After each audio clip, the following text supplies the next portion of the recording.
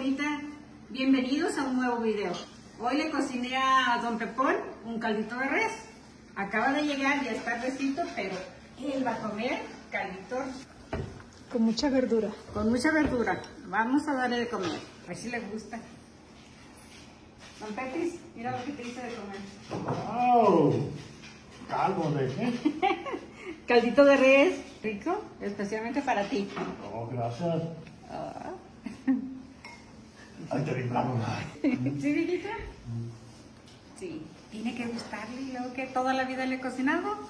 Familia, como no les, les puse la receta del- de nuestro cocido, les voy a hacer unos buñuelitos. Porque vino la Cristi a cenar conmigo y vamos a hacer buñuelitos para cenar.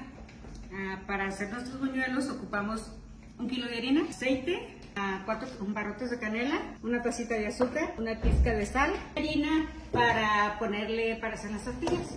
Para amasar nuestra harina vamos a ponerle dos astillas de canela a nuestra agua para que se caliente y con azúcar, unos puñitos de azúcar. Luego que hirvan y la imprimimos poquito y amasamos. Entonces se evapora poquito el agua, que no esté tan caliente porque se nos no se quema nuestra masa. Vamos a moler nuestra canela, que son tres astillas de canela, o sea, tres tubitos, eh, para juntarlo con azúcar.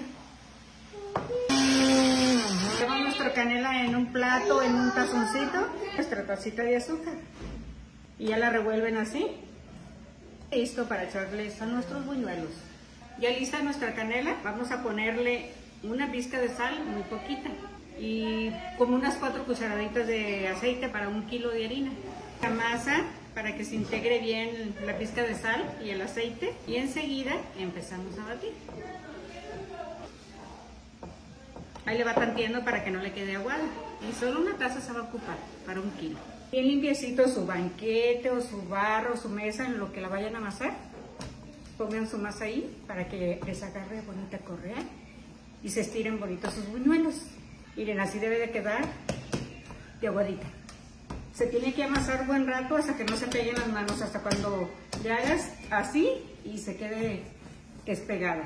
Ya está lista nuestra masa y el mismo recipiente que la amasamos vamos a dejarla reposar unos 10 minutitos. Ya empezamos a hacer nuestras bolitas y yo las paso en la harina así. Y luego así. Y estirar. Lo que mi mamá termina de estirar las tortillas que faltan, voy a poner a calentar el aceite. Terminé de estirar mis tortillas, me salieron 26.